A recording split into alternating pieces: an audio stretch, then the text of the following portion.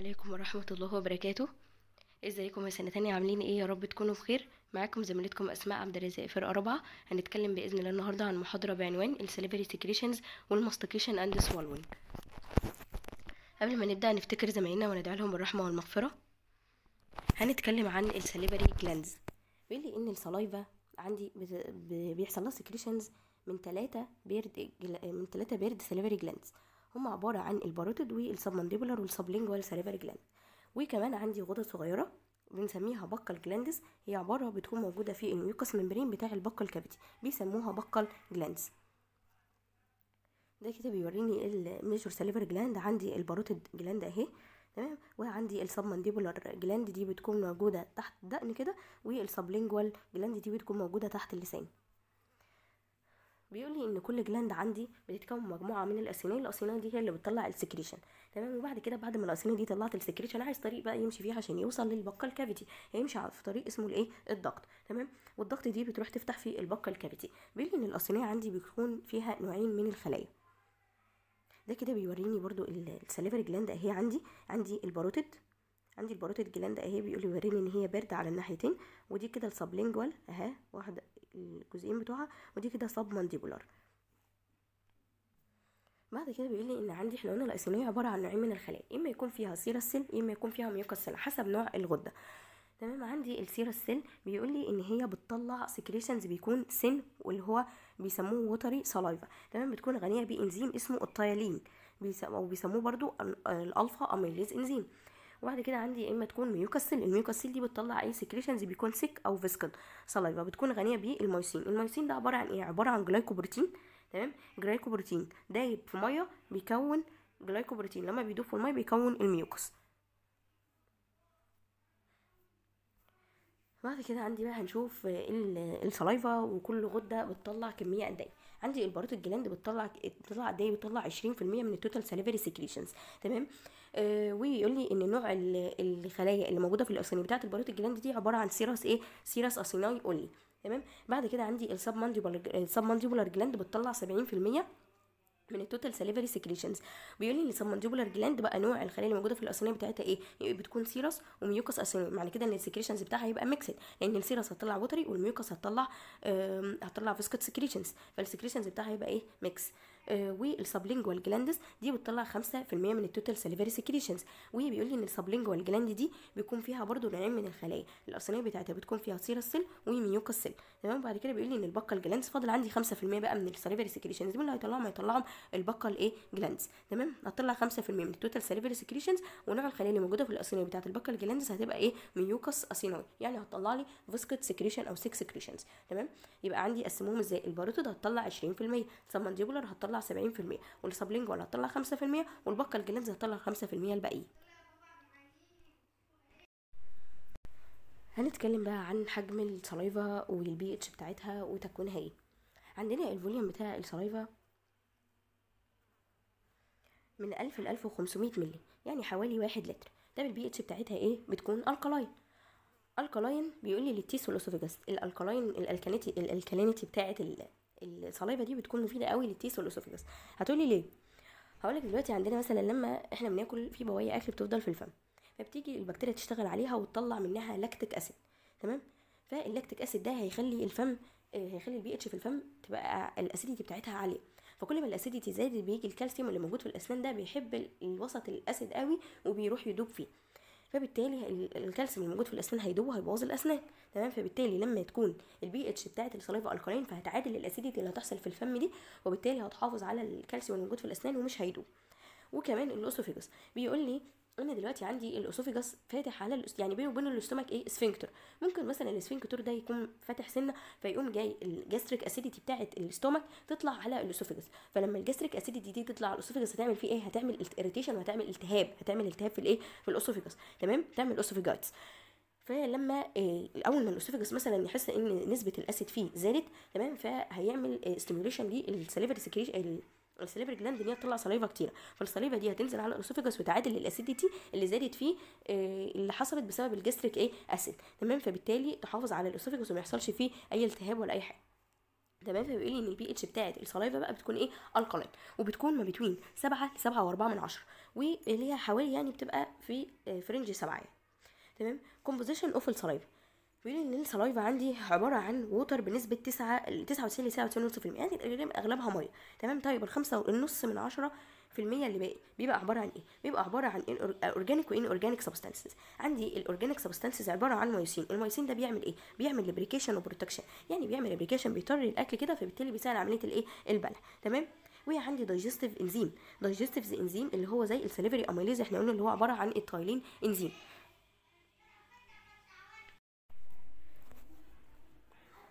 قلنا عندنا digestive enzyme زي ال salivary amylase enzyme اللي هو ال ptyalin.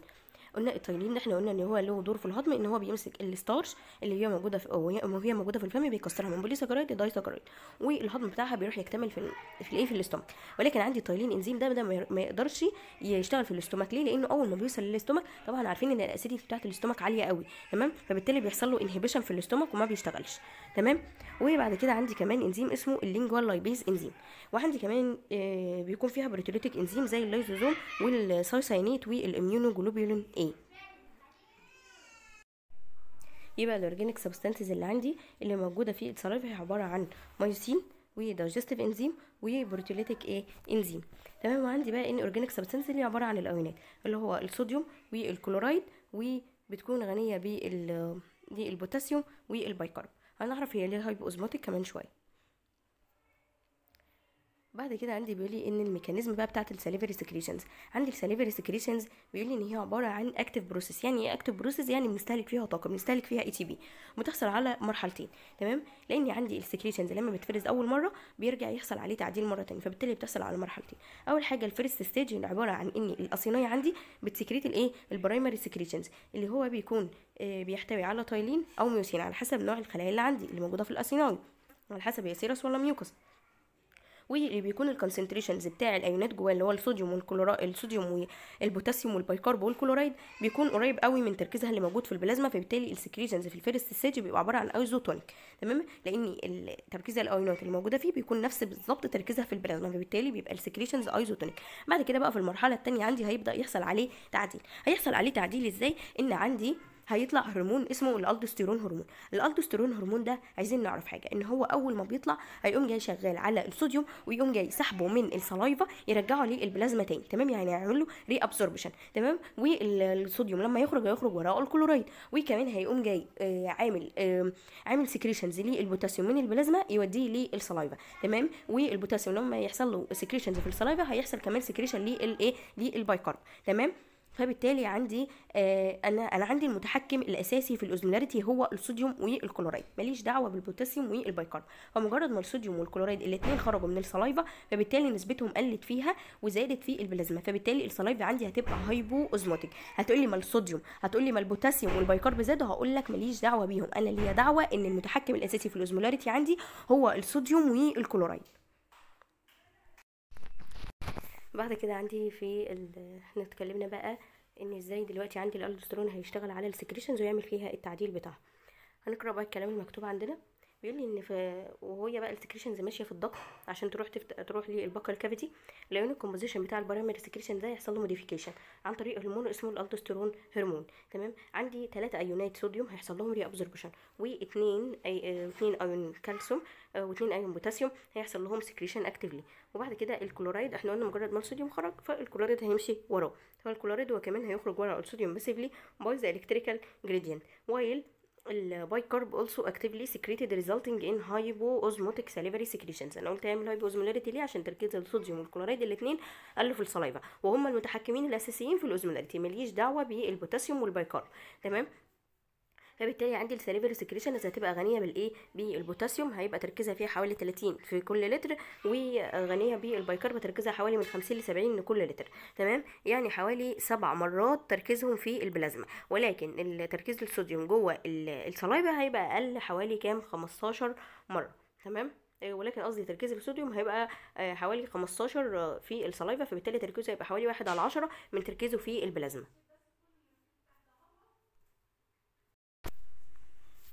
عندي هنا الرسمة بتوضح لي برضه إزاي بيحصل ال secretions بقى بتاعة ال saliva.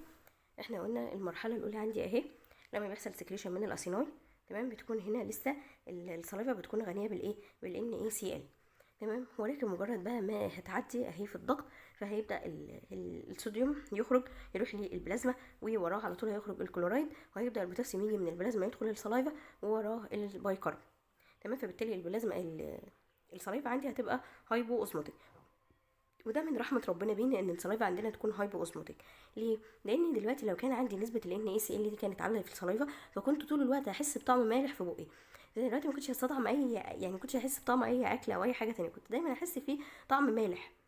لكن من رحمة ربنا إن ال saliva تبقى hypoosmotic فبالتالي أنا أقدر أحس بطعم الايه بطعم الأكل وأقدر أحس بطعم كل حاجة يعني باكلها أو أي حاجة بشربها. بعد كده هيكلمني عن ال ionic compositions بتاع ال saliva بيتأثر بحاجتين. بيتأثر بحاجتين. قلنا بال aldosterone hormone زي ما قلنا بالظبط. الكلام بيتعاد تاني. إن هو ال aldosterone hormone هنا آه، بيقول لي مع زيادة ال aldosterone secretions بيزود ال rate بتاع ال NaCl absorption while increasing ال potassium اي secretion يعني بيزود ال NaCl ان هو يحصل له absorption ويرجع تاني للبلازما. وفي نفس الوقت كمية البوتاسيوم تزيد ويدخل جوه الايه آه، ويرجع لل saliva تمام؟ أساسا ان NaCl concentration in ال saliva بيقل آه، ممكن يوصل لحد زيرو وال potassium concentration بيكم هيزيد أكتر هيبقى حوالي سبع مرات تركيزها تركيزه في الايه في البلازما. بعد كده بتتأثر كمان بالإيه؟ بال rate بتاع ال salivary secretions اللي هو increase ال rate of ال salivary secretions ما بيديش أي فرصة لل ionic modification of ال saliva يعني دلوقتي مثلا أنا وأنا قاعد آه، مثلا مش باكل ولا أي حاجة يعني ال saliva طالعه بمعدل طبيعي جدا فدلوقتي بتطلع ببطء شوية. فبيبقى عندي فرصة كافية إن يحصل ال ionic إيه؟ modification إن هو إزاي يعني يبدأ إن هو الصوديوم يخرج براحته بقى يروح للبلازما والبوتاسيوم براحته جدا يعدي من البلازما يدخل جوه ال saliva. ماشي بيكون العملية بطيئة. لكن لما مثلا بكون باكل وكده فأنا محتاج كمية saliva كبيرة.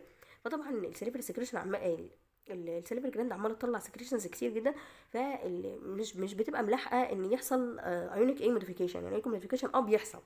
بيحصل مش هنقول إن هو بيقف خالص بيحصل بس بيبقى بسرعة بسرعة فبالتالي مش هيحصل بنفس الكفاءة اللي كان بيحصل بيها في وقت الراحة يعني في وقت ما ال saliva طالعه براحتها تمام؟ فبالتالي بيقول إن كل ما زاد ال rate مش هيبقى في فرصة كبيرة إن يحصل ionic إيه modification لل saliva أساس إن بيحصل فبالتالي بتبقى نسبة ال Na ال concentration في ال saliva بتبقى إيه؟ بتبقى عالية ونسبة ال KHCO 3 اللي هو ال potassium bicarb بتبقى إيه؟ قليلة تمام؟ لأن هو مش هيلحق كمية بوتاسيوم مش هتلحق كمية كبيرة من البوتاسيوم تدخل جوه ال saliva تمام؟ ولا هيلحق كمية كبيرة من الصوديوم تخرج بره ال saliva وتروح للبلازما فبالتالي هيفضل تركيز الصوديوم عالي وتركيز البوتاسيوم إيه؟ هيبقى قليل.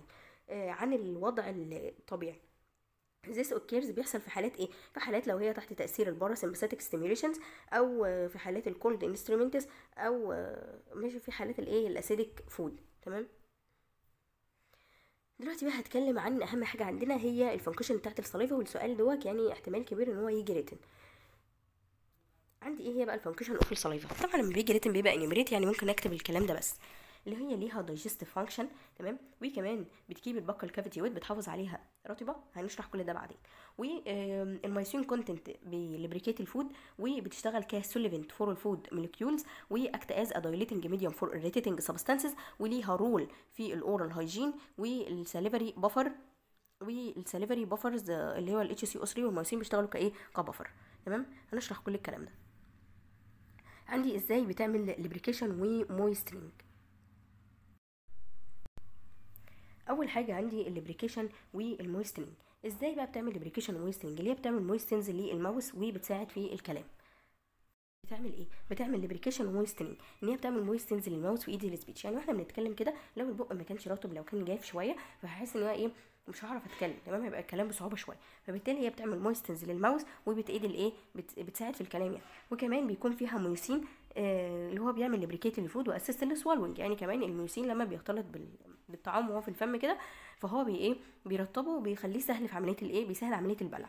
و dissolve ال nutrients to be able to stimulate ال taste bud هنعرف كمان شوية إن عن في ال special sense إن عندي ال taste bud علشان تشتغل لازم يكون الأكل متفتت. تمام؟ فهي لما دلوقتي هي هتفتت الأكل وتطريه تمام؟ فبالتالي الأكل ده يروح على taste bud فيشغلها فدلوقتي أبدأ أحس بطعم الايه بطعم الأكل. بعد كده ليها كمان حاجة اسمها ال buffering action تمام؟ ال buffering action يعني بتعادل بيقول إن ال saliva دي بتكون غنية بالايه بال bicarb وال mucin. الاثنين دول بيكون فيهم mucoprotein ويعتبر amphoteric بيشتغل ك buffer بيشتغل ك buffer إزاي؟ إن هي بت maintain ال oral pH بتاعتي حوالين آه، سبعة تمام؟ يعني بتخليني البي اتش ده تكون إيه؟ سبعة. thus إن هي بتقلل آه، بتقلل ال loss of الكالسيوم from ال teeth into ال oral fluid وده الكلام ده إحنا شرحناه. إحنا قلنا إن هي بتحافظ على إن البي اتش جوه الفم ما ما تبقاش acidic تمام؟ فبالتالي هي بتبدأ لو مثلا ال acidity زادت في الفم فده هيخلي الكالسيوم الموجود في الأسنان يدوب ويبوظ الايه الأسنان تمام؟ ولكن هي بقى بتحاول تحافظ على البي اتش جوه الفم إن هي تبقى سبعة فبالتالي ال acidity ما تزيدش وبالتالي الكالسيوم ما يدوبش الكالسيوم بتاع الأسنان ما يدوبش في ال saliva تمام؟ فبت بيقول إن هي بت... بتقلل هي ال loss of الكالسيوم from into ال oral fluid بت shifting shifting في ال oral pH to the acidic side بيزود الايه لأن قال ان ال shifting بتاع البي اتش لما توصل لل acid لما ال acidity بتاعتها بتزيد بتزود ال solubility بتاعت الايه الكالسيوم. فبالتالي بتخلي بتخلي الكالسيوم إيه؟ يقل من الأسنان. تمام؟ بتعمل dental caries وهي لكن هي بت neutralize وكمان يعني هي كده بتعادل البي اتش بتاعت الفم عشان تحافظ على الأسنان وكمان بت neutralize ال gastric acidity عشان كده بتحمي ال lower esophagus from reflux إيه؟ esophagitis هي بتنوترلايز الايه الجاستريك اسيديتي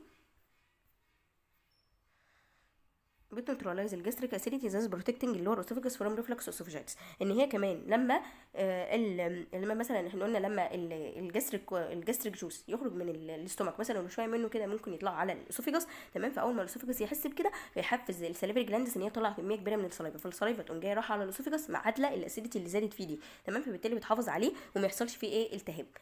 تمام؟ يبقى إن هي بت neutralize بت neutralize ال gastric acidity وبالتالي بتحمي ال lower esophagus from إيه؟ reflux esophagitis بعد كده عندي حاجة. بتعمل كمان إيه oral hygiene بتحافظ على نظافة الفم إزاي بقى عن طريق إن ال saliva بيكون ليها دور مهم في keeping healthy oral tissue عن طريق إن هي بتعمل بص ال saliva دي كأنها بتغسل الفم كده تمام؟ يعني بيكون في بواقي أكل أو أي حاجة فهي طول ما هي بتدور كده في الفم فهي بتغسله وتشيل كل بواقي الأكل اللي موجودة فيه أي بكتيريا أو أي حاجة من دي. هي بتعمل إيه؟ washing away the pathogenic bacteria and the food debris that keeps ده بيحافظ على الإيه؟ على ال mouth relatively clean تمام؟ وكمان بيكون فيها thiocyanate و lysozyme و immunoglobulin إيه؟ ليها برضو bactericidal و bacteriostatic effect يعني ليها تأثير على البكتيريا بتموت البكتيريا. تمام؟ و contain كمان بيكون فيه كمان growth hormone و factor تانية بتساعد على rapid regeneration و repair of ال damaged epithelium وال oral ulcer يعني في عندي أي oral oral ulcer مثلا في الفم أو في حصل أي جزء من ال epithelium اللي موجود في الفم ده حصل فيه damage وكده فهي بتساعد على ال healing بتاعه. فيها growth hormones بتساعد على إن يحصل healing للايه لل ulcers أو ال damage ده. تمام؟ وكمان بتشتغل ك dilution media for irritant food يعني مثلا لو أكلت حاجة spicy شوية أو كده فهي بت إيه؟ بتقلل ال irritation بتاعها. وكمان بت cooling الايه ال hot food يعني لو كان أكل سخن أو حاجة فهي بتبرده. تمام؟ يبقى هي كمان آه، دي وظيفتها تبع ال oral hygiene. وكمان إحنا قلنا بتحافظ على ال healthy teeth عن طريق إيه بقى؟ عن طريق إن إحنا شرحناها عن طريق ال buffering effect بتاعها. وكمان بيكون فيها proline rich protein برضو بيحمي الأسنان وكمان بتطلع فلورايد آه فلورايد ده برضو مهم لإيه؟ لل teeth health تمام؟ مهم برضو للأسنان. بعد كده عندي بتساعد في عملية الهضم. إحنا قلنا إن فيها إيه؟ alpha amylase enzyme اللي هو ال ptyalin. ده بي initiate ال digestion of الايه ال starch في ال mouth تمام؟ يعني بيحولها من polysaccharide ل disaccharide تمام؟ وبعد كده ال starch دي هتروح يكمل الهضم يكتمل الهضم بتاعها في الإيه؟ في ال stomach. ولكن أنا عندي ال stomach عندي ال ptyalin enzyme ده ما يقدرش يشتغل في ال stomach. ليه؟ لإني مجرد ما بيوصل لل stomach بيحصل inhibition بال acidity العالية بتاعه ال stomach تمام؟ كمان هي بتطلع إيه؟ ال iodide تمام؟ ال salivary iodide concentration ده ممكن يوصل ل 10 مرات تركيزه من البلازما. وكمان هي بتعمل excretions لل heavy metals وال mercury وال lead وكمان بتخرجهم في الإيه؟ في ال stool. وكمان هي ليها دور في ال water regulation عن طريق إن هي مسؤولة عن الإحساس بالإيه؟ بال thirst. هي مسؤولة عن الإحساس بالعطش. تمام؟ مسؤولة عن السيرست سensation عندي ال function بقى بتاع ال autonomic nerve supply of ال salivary gland أنا عندي بيتحكم فيها اتنين sympathetic و parasympathetic وعايز اعرفكم حاجة إن ال sympathetic وال parasympathetic الاتنين هيزودوا ال salivary secretions مع اختلاف نوع ال secretions اللي طالعة بس وكميتها. عندي ال parasympathetic innervation of ال salivary gland عندي ال parasympathetic innervation لل salivary gland هو عبارة عن إيه؟ آه، ده جزء يعتبر anatomy شوية بس هنقوله. عندنا ال submandibular gland وال sublingual gland الاثنين بيتغذوا بال chorda tympani branch بتاع ال facial nerve اللي هو nerve رقم سبعة. وبيقول لي إن ال preganglionic fibers بتخرج من ال superior salivary nucleus اللي موجودة في ال lower pons وبت relay في الايه في ال submandibular ganglion بتروح تغذي ال submandibular وال sublingual gland وعندي إن بيقول لي إن ال parotid gland كمان بتتغذى بإيه؟ ب autonomic fiber of ال glossopharyngeal nerve يبقى عندي ال submandibular وال sublingual الاثنين بيتغذوا بال chorda tympani بتاعه ال facial nerve لكن عندي ال parotid gland بتتغذى ب آه، آه، بتتغذى بال glossopharyngeal إيه؟ nerve تمام؟ وعندي بيقول لي إن ال preganglionic fiber arise from ال inferior salivary nucleus في ال upper medulla وبت relay في الإيه في ال otic ganglion. بيقول لي إن ال salivary ال salivary centers بقى ممكن يحصل له stimulation عن طريق إيه؟ عن طريق التست ستيمولاي التست ستيمولاي فروم الإيه التانج والماوس والفارنكس يعني مجرد ما الأكل مثلا بيجي على اللسان أو بيبقى موجود في الفم أو يوصل لل pharynx فبيحصل stimulation الإيه؟ لل salivary centers وبيتزود بيزيد كمية ال saliva وكمان لو جاله impulses من ال higher center زي مجرد ما إن أنا بكون بقى إيه؟ بفكر مثلا في في الأكل. أنا جعان شوية فقاعد بفكر أنا هاكل إيه؟ أو مجرد ما شميت ريحة أكل مثلا فبرضه بيحصل ده بيعمل stimulation الإيه؟ لل salivary center وكمان بيحصل له stimulation إيه؟ impulses جاية من ال stomach أو ال upper intestine في حالات لو كان في GIT irritation يعني لو حالة زادت ال acidity وكده فبيحصل برضه ده بيعمل stimul- زادت ال acidity قوي في ال stomach أو زادت في ال upper intestine فده برضه بيعمل stimulation لل salivary center عشان يزود كمية ال saliva وتروح تعادل الإيه؟ ال acidity العالية قوي دي. تمام؟ وبعد كده بيقول لي إن ال superior salivary nucleus ده بيشرح لي المسار يعني بتاع ال آه، بتاع ال nerve ات اللي بتغذي ال submandibular وال sublingual وال parotid gland تمام؟ بيقول لي إن ال superior salivary nucleus اللي هي موجودة في ال lower part من ال pons بتروح ت relay مع ال facial nerve وال facial nerve بيطلع من ال chorda tympani اللي هي بت relay في ال submandibular ganglion وبيطلع منها postganglionic fiber اللي بتغذي ال submandibular وال sublingual إيه gland أنا أهم حاجة عندي أعرف إن ال submandibular وال sublingual بتتغذى بالايه بال chorda tympani اللي جاية من ال facial nerve وعندي بيقول لي إن ال inferior salivary nucleus اللي موجودة في ال upper part من ال medulla oblongata بت relay مع تسعة كرينيال نيرف وتروح للليسر سوبرفيشال بتروزال نيرف بتريلي ان الاوتيك جانجليون بيطلع منها postganglionic fiber بتغذي ال parotid gland أهم حاجة عندي برضو أعرف إن ال parotid gland بتتغذى بالإيه؟ بال glossopharyngeal اللي هو 9 cranial إيه؟ nerve اللي هو ال nerve رقم 9 تمام؟ بعد كده عندي ال sympathetic innervation ده كده كان ال parasympathetic طب ال sympathetic innervation بقى بيجي لها منين؟ بيجي لها من ال lateral horn cell اللي موجودة في ال upper two thoracic segments of ال spinal إيه؟ cord. تمام؟ بتروح ت relay في ال superior cervical ganglion في ال superior cervical ganglion. وهيطلع منها postganglionic fiber اللي هتروح تغذي ال gland وخاصة ال submandibular إيه؟ gland. إيه بقى تأثير ال autonomic innervation عندي parasympathetic supply وال sympathetic supply ال parasympathetic إحنا قلنا الاثنين بيزودوا ال secretions مع اختلاف ال quantity وال quality بتاعت ال secretion يعني اختلاف الكمية والتركيز اللي موجود فيه. عندي بيقول لي إن ال parasympathetic هت stimulate true salivary إيه secretions which is large in volume.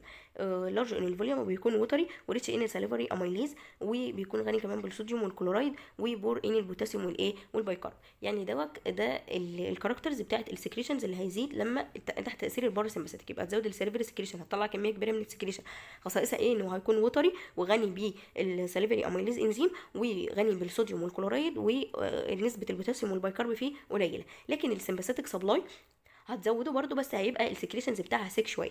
تمام؟ بيقول لي produce trophic salivary secretions اللي هو يعني كميته إيه؟ قليلة. تمام؟ هي بتزوده آه بس بتزوده بكمية قليلة. فبيطلع بيطلع secretion تكون كميته قليلة ولكن غني بالإيه؟ بيكون small in volume ولكنه بيكون viscid thick تمام؟ و poor in ال electrolytes تمام؟ يعني هو بيكون آه سميك وبيكون آه نسبة ال electrolytes فيه قليلة اللي هو الصوديوم والكلوريد والبوتاسيوم وال bicarb بتكون نسبتهم فيه قليلة وبيكون غني بالإيه؟ بال mucin تمام؟ فبيبقى لزج كده شوية بيبقى لزج فدلوقتي تحت تأثير ال sympathetic فأنا ممكن أحس إن بقي الفم بتاعي ناشف تمام؟ ولكن هو مش بيكون ناشف ولا جاف ولا حاجة لأ هو طلع هو في saliva موجودة فعلا بس ال saliva thick بتكون thick و وما بيكونش فيها electrolyte كتير وما بيكونش فيها مثلا ما بتكونش watery تمام؟ بتكون mucous أكتر وبتكون thick وكده فبالتالي بتحسسني إن الفم بتاعي بيكون جاف احس بجفاف كده. بس لا ما بيكونش فيه جفاف ولا حاجة لا ده فيه saliva بس ما بتكونش watery تمام؟ ال sympath ات تأثير ال sympath ات اللي بيحصل تحت تأثيري بقى بيحصل لما بيحصل contraction في ال myoepithelial cell around ال acini to squeeze the viscid إيه؟ saliva بيقول لي ان ال secretions of ال saliva is controlled by autonomic nerves through conditioned و unconditioned reflex عندي حاجتين كمان اسمهم ال conditioned reflex وال unconditioned إيه؟ reflex تمام؟ عندي ال unconditioned reflex دوت يعني يعني بيسموه كده غير مشروط يعني مش لازم أكون متعلم حاجة تمام؟ يعني مثلا لو طفل صغير مجرد ما حطيت الأكل إيه؟ مجرد ما الأكل وصل للفم بتاعه فال saliva هتتفرز تمام؟ لكن مثلا عندي طفل صغير مش قادر مش هيقدر مثلا لما يشم ريحة حاجة معينة فيعرف إن دي ريحة أكلة معينة. تمام؟ ولا يقدر برضه يقعد يفكر مثلا ويتخيل أكلة معينة على العكس لو آه، فده آه، فالطفل الصغير بقى ده اللي ما يعرفش يعمل ال conditioned reflex ال unconditioned reflex ده بيحصل في كل الأعمار سواء طفل أو كبير أو أي حد تمام؟ ده بيحصل عنده unconditioned reflex اللي هو بيحصل مجرد ما الأكل دخل جوه الفم تمام؟ لكن ال conditioned reflex ده بي- بيسموه كده مشروط. يعني لازم أكون واحد كبير وفاهم فاهم مثلا اللي أنا شميته ده ريحة أكل تمام؟ أنا بفكر مثلا في أكلة معينة تمام؟ فده بيزود عندي نسبه ال saliva فده بيسموه ال conditioned reflex بيقول لي إن ال unconditioned reflex ده هو عبارة عن إيه؟ عن inborn reflex تمام؟ inborn reflex يعني بيحصل في الأطفال وفي الكبار في كله doesn't need previous learning مش محتاج إن أنا أكون متعلم حاجة يعني ومش محتاج كمان cerebral إيه؟ cortex تمام؟ ال stimulus بتاعه اللي إيه بقى اللي بيعمل stimulation لل conditioned reflex ده مجرد ما الفم آه، ما ال- ما ال food بقى جوه الإيه؟ الفم. by chemical أو mechanical stimulation تمام؟ ده ال receptors بتاعته إيه؟ هي ال taste bud وال mechanical receptors اللي موجودة في الإيه؟ في ال mouth. تمام؟ لأن هو ما بيحصلش غير في ال mouth أصلا. مجرد ما الأكل دخل الإيه؟ ال mouth. ال afferent بتاعه هو ال chorda tympani وال glossopharyngeal nerve وال vagus nerve طب ال center بتاعه موجود فين؟ في ال superior وال inferior salivary إيه؟ nucleus تمام؟ وال efferent بتاعه هو ال nerve رقم سبعة وتسعة و sympathetic nerves ال effector organ إيه ال organ بقى اللي هيتأثر؟ هو ال salivary gland وال response بتاعه طبعا هيزود الايه ال salivary secretions طبعا عندي بقى ال conditioned reflex ال conditioned reflex ده لازم أنا أكون متعلمه. تمام؟ لازم أنا أكون واحد فاهم وعارفه. اللي هو بيبقى إيه؟ acquired وبيحتاج previous إيه؟ training و intact وبيحتاج كمان cerebral cortex تمام؟ عشان هو اللي يحصل منه الاستجابة. ال stimulus بتاعه مجرد ما أنا إيه sight شفت الأكل أو smelling شميت ريحته أو hearing تمام؟ أو thinking of ال food أو فكرت في الأكل. طب ال receptors بتاعه ال conditioned reflex موجودة فين؟ هي receptors of sense إيه organ طب ال afferent بتاعي ال afferent بتاعه قصدي موجود في ال optic وال auditory وال olfactory إيه nerves ال optic عشان لو شفت الأكل. ال auditory لو سمعت مثلا صوت حاجة أو صوت الأكل وهو بيتجهز أو olfactory nerves تمام؟ اللي هو لو شميت. طب ال center موجود فيه برضو هو نفس ال center بتاع ال conditioned reflex في ال superior inferior salivary nuclei طب ال efferent اللي هو nerve رقم سبعة وتسعة وال sympathetic طب ال effector organ برضو اللي هيتاثر هو ال salivary gland وال response هو آه برضو ال salivary إيه secretions هتزيد. ماشي؟ عندي بقى هنتكلم عن ال mastication. تمام؟ إيه هي بقى عملية الإيه؟ ال mastications يعني عملية المضغ. اللي هي مجرد ما الأكل دخل جوه الإيه؟ الفم فهيبدأ يحصل هعمل إيه؟ همضغ بقى هبدأ أمضغ الأكل. تمام؟ هي عبارة عن mechanical break down of large food particles into smaller one in ال mouth تمام؟ يعني هي عمليه بيحصل فيها تكسير للقطع الاكل لما كانت كبيرة شوية فبدأ يحصل لها تكسير وتتحول لايه لقطع أصغر شغ... أصغر شوية والعملية دي بتحصل في الإيه؟ في الفم. تمام؟ طيب ال mastication center ده موجود في الإيه؟ في ال pons. أعرف إن ال center بتاعه موجود في ال pons. طيب إيه هو بقى ال mastication reflex بيحصل إزاي؟ إحنا قلنا هو ال mastication اولا بيحصل في الإيه؟ في الفم مجرد ما الطعام دخل جوه الفم فبدا تحصل عملية الإيه؟ ال mastication. بيقول لي presence of ال food in the mouth بيعمل reflex inhibition of ال mastication لما بيحصل inhibition في ال mastication muscle ال muscle دي المسؤولة عن الايه؟ عن ال lower jaw هي اللي رافعاه تمام؟ فمجرد ما حصل فيها inhibition في ال lower jaw بيبدأ إيه؟ يقع. تمام؟ فمجرد ما ال lower jaw وقع فده يعمل stretch reflex لل jaw إيه؟ muscle يعمل stimulation لل muscle الثاني بتاعه ال lower jaw فتقوم جاية إيه؟ ال muscle دي يحصل فيها contraction وترفعه إيه؟ مرة ثانية وتفضل العملية دي تتكرر تتكرر. يعني ال lower jaw يحصل inhibition لل muscle فال lower jaw يقع. فبالتالي يعمل stimulation لل mastications muscle تمام؟ فتقوم جاية رافعاه مرة ثانية تمام؟ وهكذا العملية دي تتكرر لحد ما امضغ كل قطع الأكل اللي موجودة في الفم تتحول إيه لقطع أصغر. تمام؟ بيقول هنا بيحصل drop في ال lower jaw و this drop initiate ال stretch reflex وفي ال jaw إيه؟ muscle وبعد كده بعد ما يحصل stimulation يحصل contraction في ال jaw muscle وبعد كده بعد ما يحصل لها contraction هتعمل elevation في ال jaw في ال lower jaw وهيحصل closure للايه لل teeth تمام؟ اللي هو ال jaw هترفع كده الأسنان هتقفل على بعضها وال food pressed against ال lining of الايه ال mouth again وال food جوه الفم هيت إيه؟ هيتضغط تمام؟ وبعد كده وبعد كده يحصل تاني reflex relaxation of ال mastication muscle وهكذا العملية تفضل تتكرر بقى لحد ما الأكل كله إيه؟ يتمضغ تمام؟ عندي بقى importance of ال chewing على فكرة عملية المضغ دي مهمة قوي. مهمة في إيه بقى؟ بيقول لي هي أول حاجة هي first step في ال food break down and serves the following function هي أول حاجة طبعا أول عملية بيبدأ بها إيه؟ تكسير طعمه أو تفتيته يعني.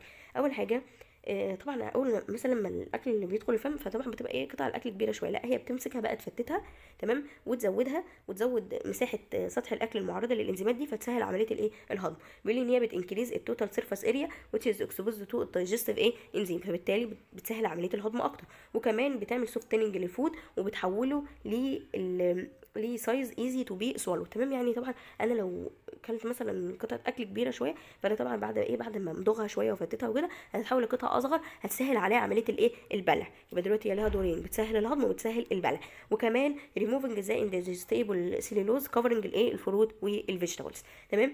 وكمان بت allow ال food to stimulate ال salivary secretion which softens lubricate and digest الايه ال food وكمان عملية المضغ دي هي اللي بتزود إيه؟ بتزود ال salivary secretion طبعا ال salivary secretion زي ما إحنا قلنا إن هي مهمة جدا عشان بتطري الأكل وبتسهل عملية البلع وبتسهل كمان الهضم لأن بيطلع فيها إنزيمات إيه؟ إنزيمات هضم. وكمان allow ال food to stimulate the taste and smell receptors that give satiety سensation تمام؟ يعني هي كمان قطعة من الأكل دي ما تتفتت بتروح بقى ال taste bud وت... وتشغلها بتعملها ستيموليشن وكده فأبدأ أحس بإيه؟ بطعم الأكل وأبدأ يعني إيه؟ أستمتع بطعم الأكل اللي أنا باكله. هو ده الم- المقصود بال بال satiety سensation تمام؟ بعد كده عندي بقى طبعا بعد ما مضغت الأكل هتبدأ عملية الإيه؟ البلع تمام؟ عندي ال swallow بيقول لي هو عبارة عن إن ال food بقى بيعدي من ال mouth يروح للإيه؟ لل stomach ولكن عشان يعدي من ال mouth لل stomach هيمر على طريقين هيمر على ال pharynx والإيه؟ وال esophagus بيقول لي إن ال swallowing center موجود في الإيه؟ في ال medulla. لكن ال mastication center كان موجود في الإيه؟ في ال pons. تمام؟ بيقول لي إن ال process دي بتتقسم إيه عملية البلع دي بقى بتحصل على ثلاث مراحل. عندنا أول حاجة ال buccal phase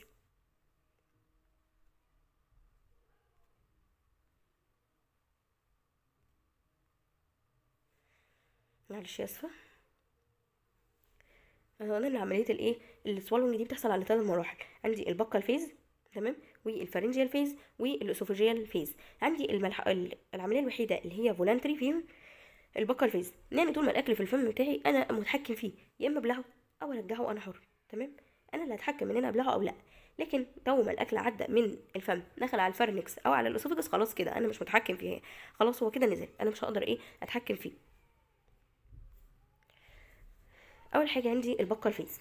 ال buccal phase اللي هي ال oral stage هي الوحيدة اللي إيه voluntary تمام؟ ال mechanism بتاعتها بيقول لي لما ال bolus of ال food become ready for swallowing خلاص بقى لما قطعة الطعام بقت جاهزة إن هي تتبلع هي rolled over the back of the tongue بتروح عند الايه عند ال back بتاع ال tongue تمام؟ by voluntary elevation and retraction اللي هي backward backward of the tongue against the hard palate then it is forced into the oral by the contraction of the mylohyoid muscle.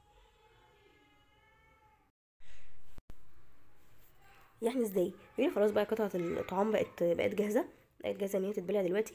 فدلوقتي هتروح ل هتوصل هتتبلع بقى ناحية الايه هتوصل لل back بتاع ال tongue تمام؟ عن طريق إن ال tongue بيترفع من قدام فبيزق الأكل ناحية إيه؟ ناحية ال back بتاع ال tongue. وبيحصل retraction في ال tongue against ال hard palate وال tongue كده بيترفع against الايه ال hard palate. وبعد كده بيقوم الطعام رايح من الفم بقى بيروح للايه لل oropharynx تمام؟ عن طريق بيحصل contraction اللي بيتحكم في العملية دي بيحصل contraction في الايه في ال mylohyoid muscle بعد كده الأكل بقى عدى دلوقتي من ال buccal cavity هيروح بقى للإيه لل pharynx تبدا بقى ال pharyngeal phase ال pharyngeal phase طبعا involuntary تمام؟ بتحصل نتيجة الإيه؟ ال swallowing reflex تمام؟ عندي أول حاجة ال stimulus بقى بتاع ال pharyngeal phase ده ال stimulus هو entry of ال bolus of ال food into الإيه؟ ال pharynx بعد كده ال receptors المسؤوله عنها هي ال pharyngeal آه في ال receptors بتاعتها موجودة في ال pharyngeal opening specially عند ال tonsillar pillars تمام؟ بعد كده الافرنت بتاعها هو الفيفث والناينث كرينيال نيرف والسنتر بتاعها يعني ال afferent بعد كده هيوصل لل center اللي هو ال swallowing center بعد كده الاستجابة بقى تتنقل عن طريق ال efferent اللي هو ال efferent بتاعها في الرقم برضو إيه خمسة. في ال nerveات رقم خمسة وتسعة وعشرة واتناشر cranial nerve بعد كده عندي ال organ بقى اللي هيحصل فيه الاستجابة هو ال muscle بتاعة ال swallowing تمام؟ الاستجابة عندي بتكون عبارة عن إيه؟ عبارة عن initiation of several actions that basically involve pulling the bolus into the esophagus and at the same time um, closing alternative routes of الايه؟ ال escape الاستجابة عندي بتبقى عبارة عن حاجتين. بيحصل اللي هي movement كده بيحصل movement كده أو peristalsis بتبدأ يعني اللي هي إيه حركات كده انقباضات وانبساط كده عشان تنقل الايه؟ ال food من ال pharynx للايه؟ لل esophagus وفي نفس الوقت برضو بتحصل استجابة تانية إن هي بتبدأ تقفل. أي مسار تاني ممكن الأكل يرجع إيه؟ منه.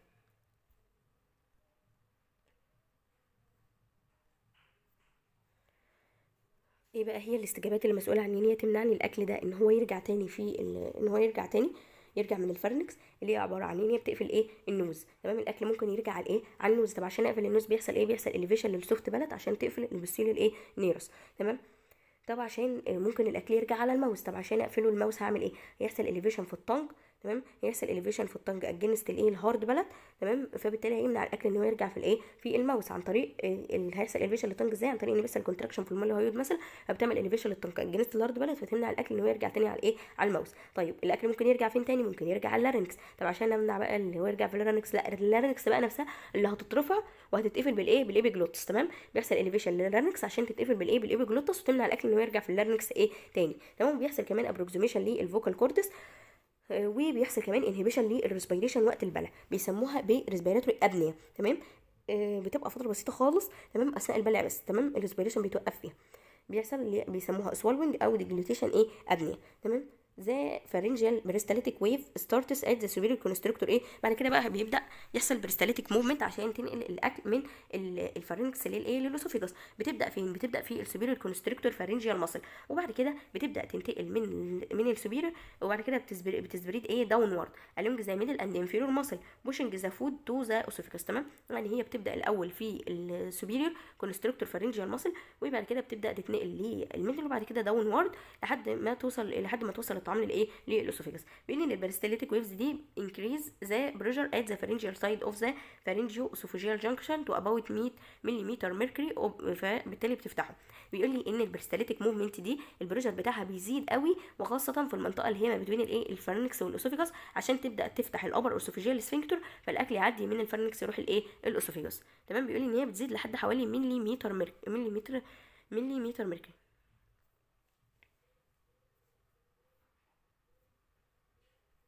عندي بعد كده بقى بعد ما الأكل عدى من ال pharynx راح لل esophagus هتبدأ عندي مرحلة اسمها ال esophageal phase ودي برضو involuntary يعني أنا مش متحكم فيها تمام؟ عندي بقى ال esophageal phase دي بتبدأ إمتى؟ بتبدأ once إن ال food عدى من ال pharynx داخل ال esophagus with the reopening of the previously closed pathway خلاص بقى دلوقتي خلاص ال food بقى عدى من ال pharynx خلاص ما بقيناش خايفين إنه يرجع تاني على ال nose أو ال mouth أو ال larynx فخلاص بقى خلاص بعد ما كانوا مقفولين هيتفتحوا مرة تانية عادي خالص. تو ما الأكل يوصل لل esophagus تمام؟ لو ال bolus كانت liquid فهي هتعدي من ال esophagus سهل خالص هتعدي مع الإيه؟ مع ال gravity تمام؟ لكن لو كانت بقى semi solid حاجة ناشفة شوية لا هي هتعدي بقى هنحتاج peristaltic movement عشان تعديها من ال esophagus توصلها لل stomach وزاز بيقول لي إن ال deglutition of ال food is difficult in the upright إيه position. عندي بقى ال esophageal peristalsis عندي ال esophageal peristalsis عندي primary peristalsis و secondary peristalsis تمام؟ عندي ال primary peristalsis هي عبارة عن continuation لل peristaltic movement اللي كانت في ال pharynx تمام؟ يبقى عبارة عن continuation لل pharyngeal peristalsis هي عبارة عن wave of ال contraction preceded by a wave of relaxation يعني بيحصل contraction relaxation contraction relaxation عشان تبدأ تزق الايه الأكل لحد ما إيه؟ يوصل لحد ال stomach تمام؟ to push the bolus of ال food to the stomach the peristaltic wave travels at a rate من حوالي 2 ل 4 سم إيه؟ كل ثانية. طيب دلوقتي حصل ال primary peristalsis نقلت شوية من الأكل وصلتهم لحد ال stomach طيب في بواقي كده من الأكل مش هتتنقل. تمام هتفضل موجودة في ال esophagus لا أنا عايزة أنقل كله بقى. أنا مش هينفع أسيب إيه بواقي من الاكل في ال esophagus لازم كله يوصل للإيه لل stomach عشان يتهضم. تمام؟ فبالتالي بيحصل عندي حاجة اسمها ال secondary peristalsis. بتحصل إمتى؟ بتحصل لو في bolus is not delivered لو في مثلا اجزاء من الطعام ما وصلتش ماشي من ال primary peristalsis. to propel the remnants of ال food the distended the esophageal wall all esophageal contents reaches the stomach. تمام؟ يعني بيفضل كده بواقي فهي بقى بتيجي ال secondary peristalsis دي تعمل انقباضات وانبساطات تاني في ال esophagus عشان توصل بواقي الأكل دي للايه لل stomach بين إن ال peristaltic wave بتكون rapid في ال upper part ولكن بتكون slow في الايه في ال lower part هيكلمني شوية عن ال esophageal sphincter بقى. بيقول لي إن ال esophagus أصلا نفسه هو عبارة عن إيه؟ عن collapsible muscular tube طولها حوالي 20 سم تمام؟ بيقول لي إن هي بينقل طبعا الايه ال food من ال pharynx للإيه؟ لل stomach تمام؟ بيقول لي إن ال upper third فيه بيتكون من skeletal muscle وال lower third بيتكون من smooth muscle وال middle third بيتكون من إيه؟ من mixed muscle يبقى عندي ال upper third عبارة عن skeletal muscle وال lower third عبارة عن smooth muscle وفي النص بيكون skeletal وإيه؟ و smooth muscle اللي هي mixed muscle تمام؟ بيقول إن هو بيطلع mucus ولكن ال mucus ده ملوش أي digestive أو absorptive إيه؟ function بعد كده عندي عندي نوعين من عندي قصدي اتنين sphincters عندي upper esophageal sphincter و lower esophageal sphincter بس ال lower هو الأهم. لكن عندي برضو ال upper مهم. ال upper esophageal sphincter بيعمل إيه؟ closes in between ال swallowing يعني بيقفل between ال swallowing وأنا ببلع مجرد ما إيه مجرد أثناء البلع. تمام؟ فكل ما بلع مثلا جزء فهو إيه في ال upper esophageal sphincter ده بيقفل. تو مثلا لما جزء من الأكل يعدي يدخل ال- ال esophagus وأنا ببلع آه، فال upper esophageal sphincter ده بيقفل على طول. ليه؟ عشان يمنع أي أي air مثلا يدخل ال esophagus يدخل ورا الأكل مثلا أثناء مثلا ما أنا اتنفس أو كده فيمنع أي هواء يدخل آه، جوه ال esophagus أثناء البلع. تمام؟ لكن عندي ال lower esophageal sphincter قال لي هو ال most important ال lower esophageal sphincter ده على طول مقفول. لازم أن يكون مقفول طول الوقت. تمام؟ بيقول إن ال lower esophageal sphincter هو الأهم. وهو بيكون مقفول طول الوقت تمام؟ يعني ال upper esophageal ما بيكونش مقفول طول الوقت هو بيقفل بس ما بين الإيه؟ ال swallowing عشان خاطر يمنع ال- الهواء يدخل ورا الأكل تمام؟ لكن ال lower esophageal sphincter بيكون مقفول طول الوقت ما عدا وقت البلع بس بيفتح تمام؟ ليه بيبقى مقفول طول الوقت؟ عشان يمنع طبعا إحنا قلنا إن عندنا اللي هو ال gastric secretions اللي هي بتكون فيها acid كتير قوي لو ولو فضل مفتوح هي ال acid اللي هي ال gastric secretions مجرد ما تطلع في المعدة هتقوم جاي راجع على طول على الإيه؟ على ال esophagus فهتسبب عندي esophagitis لا فهو بيكون قافل عشان يمنع الإيه؟ الج... عشان يمنع ال- ال gastric secretions دي أو ال gastric acid ده ان هو يرجع على الإيه؟ على ال esophagus يبقى بيقول لي إن هو بيكون مقفول طول الوقت عشان آه، يمنع ال reflux of ال gastric acid into الإيه؟ ال esophagus بيقول لي آه، إن ال closing tone أو ال pressure عليه يعني بيزيد قوي. During ال gastric digestion by gastrin and motilin hormone preventing ال gastric juice إيه juice reflux يعني بيقول لي إن ال tone بتاعه بيزيد قوي وبيبقى قافل جامد قوي أثناء عملية الإيه؟ الهضم. لأن أثناء عملية الهضم هيطلع هرمون الإيه؟ ال gastrin وال motilin عشان يهضموا. تمام؟ وبرده ال acidity هتزيد قوي في الإيه؟ في ال- في المعدة. تمام؟ فبالتالي هو بيبقى فال tone عليه بيزيد جامد قوي ويقفل خالص عشان يمنع أي gastric juice يرجع على الإيه؟ يرجع على ال- ال esophagus تمام؟ بيقول لي إن ال lower esophageal sphincter closing tone is decreased بيقل إمتى؟ بيقل تحت تأثير ال parasympathetic stimulation أو أوقات آه، ووقت ال pregnancy ولو مثلا هرمون البروجسترون زاد ولو الشخص ده obese ولو كان مثلا fatty meals ولو حد مثلا بيشرب قهوة كتير coffee و chocolate كمان آه، بتقلل ال tone بتاعه والإيثانول. تمام؟ دولك آه، ممكن يعمل إيه؟ الحاجات دي كلها لما بتقلل ال tone بتاعه فهتسبب إيه؟ heartburn و esophagitis و peptic ulcer تمام؟ ليه؟ ليه الحاجات دي هتعمل كده؟ لاني لما عندي لما ال tone بتاعه هيزيد فبالتالي ال gastric acidity بتاعته ال- ال gastric ال gastric juice قصدي هترجع من المعدة هتطلع عليه. لو هو ال tone بتاعه قليل فمثلا معناها كده إن هو مش قافل قوي إن هو مفتوح سنة. فبالتالي ال gastric juice هيخرج من ال stomach يطلع على الإيه؟ على ال esophagus. فهيسبب heart burn وهيعمل فيه التهاب هيسبب esophagitis وممكن كمان يسبب peptic ulcer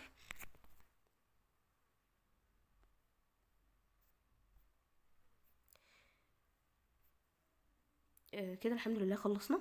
بس هنراجع سريعا كده على اللي إحنا قلناه.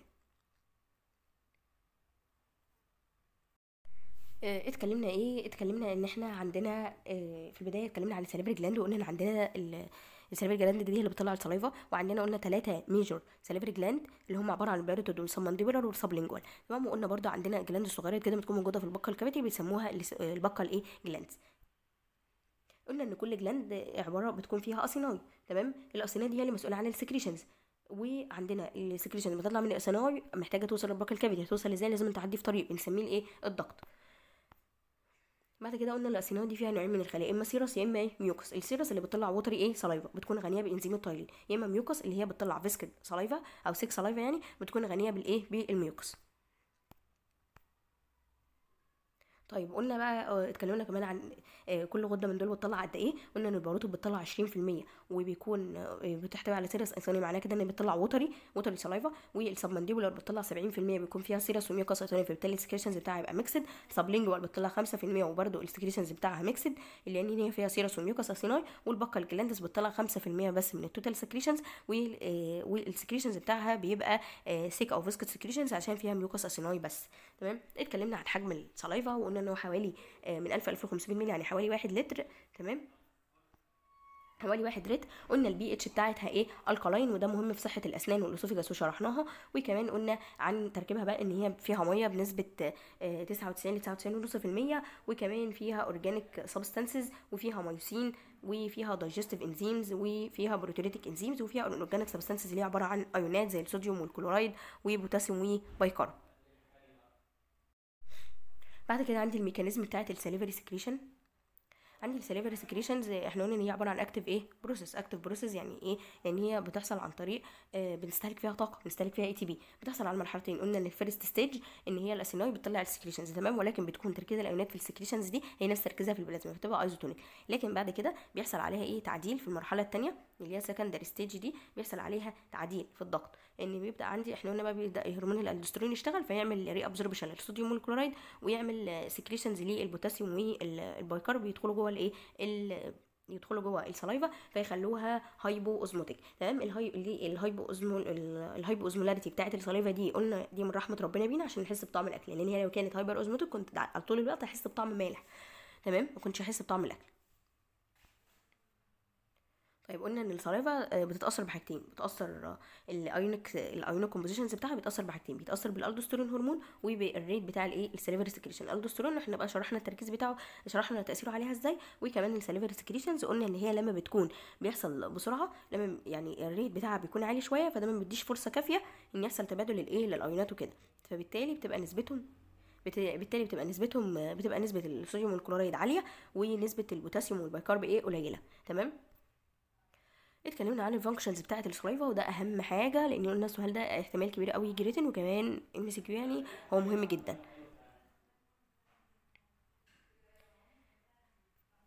ممكن تحفظوهم كده يعني تحفظوا لو جت مثلا بتيجي enumerate فممكن تحفظوهم من هنا. وبعد كده عندي اللي هو إيه؟ قلنا إن ليها إيه؟ lubrication و moistening وشرحناهم. وقلنا كمان إن هي ليها وظيفة ليها buffering action وليها مسؤولة عن ال oral hygiene وبتحافظ على هيلث ودايجيشن وسكريشن اوف ايودايد واكسكريشن للهيفي ميتالز ميركوري وكمان بتخرجهم في ال stool ومسؤولة عن ال water regulation عن طريق إن هي مسؤولة عن الإحساس بال thirst إيه sensation تمام؟ قلنا ال function بتاعة ال autonomic nerves وكده قلنا إن ليها sympathetic و parasympathetic والاثنين بيزودوا ال secretion قلنا إن الاثنين بيزودوا الايه ال secretions تمام؟ آه الجزء ده anatomy بقى فانتوا ممكن تبقوا تقرأوه كده. أهم حاجة بس إن أنتوا تعرفوا إن هي إيه ال parasympathetic اللي بيغذيها اللي بيغذي ال submandibular وال sublingual آه هو بتتغذى عن طريق ال chorda tympani اللي جاية من ال facial nerve. طيب آه اللي هي بقى وال parotid gland بتتغذى عن طريق اللي هي ال otic ganglion اللي جاية من التسعه cranial إيه nerve. وال sympathetic innervations بتاعها قلنا وقلنا تأثير بقى الإيه ال parasympathetic وال sympathetic وكده. إحنا قلنا بس إن هما الاثنين بيزودوا مع اختلاف ال quality وال quantity بتاعه الإيه ال secretions تمام؟ قلنا إن ال parasympathetic بتطلع secretions بتكون آه كبيرة في الحجم وبتكون watery وبتكون غنية بال salivary amylase والصوديوم وال chloride وال bicarb والإيه والبوتاسيوم ولكن ال sympathetic ال secretions بتاعتها بتبقى إيه بتبقى viscid وبتبقى فقيره في ال electrolytes وغنية بال mucin تمام؟ فبتديني إحساس الجفاف شوية.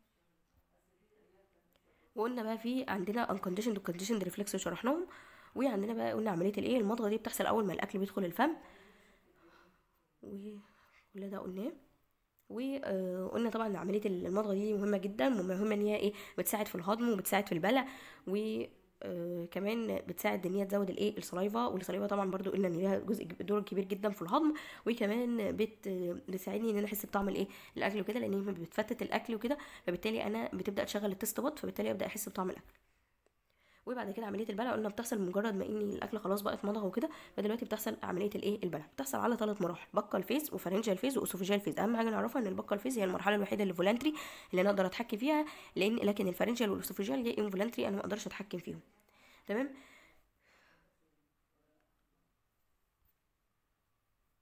قلنا إن ال pharyngeal phase بقى ال stimulus وكده كل ده قلناه.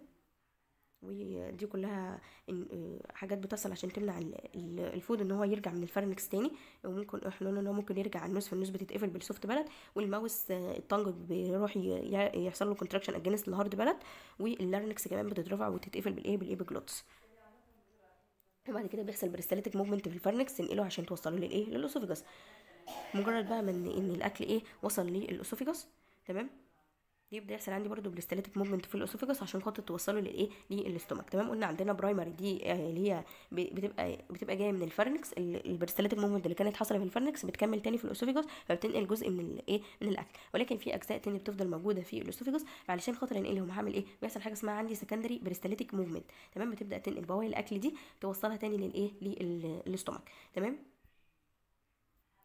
اتكلمنا عن الفسيولوجي بتاعه وقلنا كمان إن عندنا ح... عندنا اتنين sphincter upper esophageal sphincter وال lower esophageal إيه؟